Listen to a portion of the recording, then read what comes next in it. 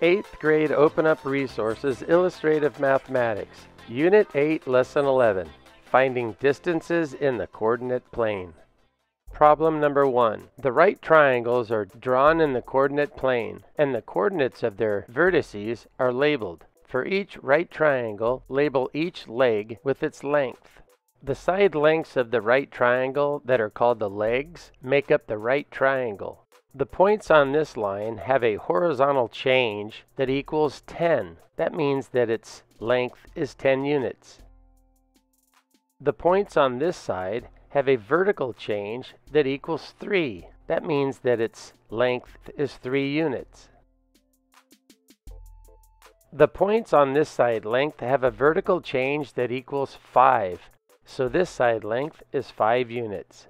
Negative 1 minus a negative 6 is the same as negative 1 plus 6, which can also be looked at as positive 6 and a negative 1, or 6 minus 1.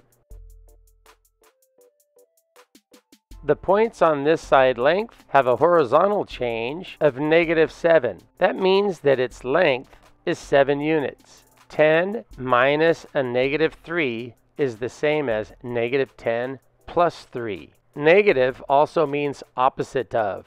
So you can look at it as the opposite of a negative, which is a positive. You can look at negative 10 plus 3 as positive 3 minus 10.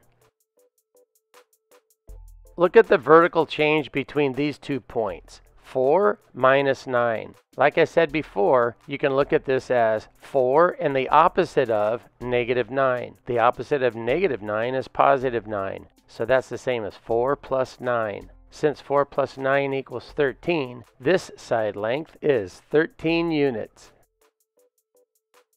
The horizontal change between the points of this side length equals negative 4, so its side length is 4 units. It's time to do something nice. Like this video, say something in the comments, tell a friend about this channel, and hit that thanks button.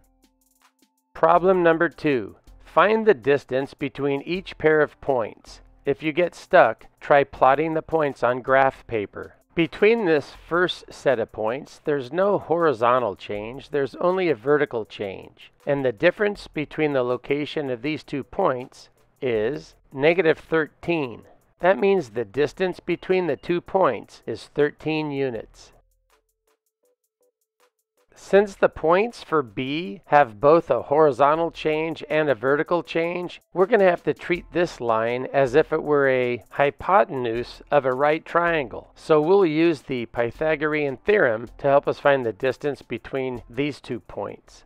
The horizontal change is 3 and the vertical change is 4. So we can use 3 squared plus 4 squared to find the hypotenuse squared. 3 squared is 9, 4 squared is 16, and 9 plus 16 is 25. So c squared equals 25. We need to find the square root of 25. And since the square root of 25 is 5, we know that the distance between these two points is 5 units. We'll have to do the same for C because these two points have a vertical difference and a horizontal difference. Use these two points to form a right triangle and we'll use the Pythagorean theorem and the length of the two legs.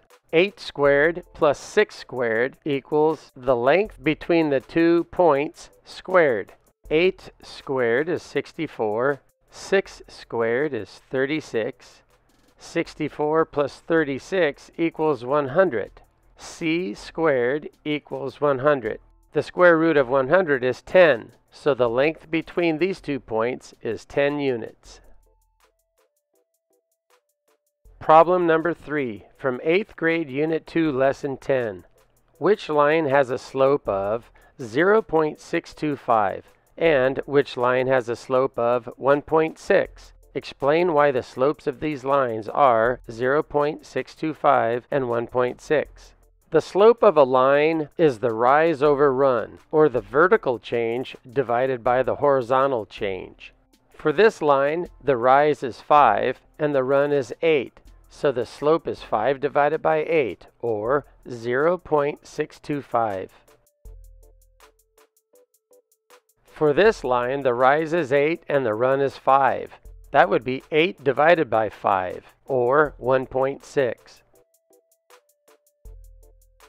Problem number 4, from 8th grade Unit 3, Lesson 7. Write an equation for the graph. Well, we can see that the line on the graph has a y-intercept of 1.5, and the slope is 2 over 1, or 2. We can plug this information into y equals mx plus b. We use m as the variable that represents the slope and b as the variable that represents the y-intercept. Since the slope of this line is 2, we can substitute the m with the 2. And since the y-intercept is 1.5, we can substitute the b with a 1.5. Now the equation reads y equals 2x plus 1.5. So the equation for the line on this graph is y equals 2x plus 1.5. Be sure to support my YouTube channel by liking this video and hitting that thanks button. Thanks for watching and I'll see you next time.